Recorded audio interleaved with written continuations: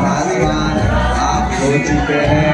आपके घर पे आदमी मन के साथ में आपका इंतज़ार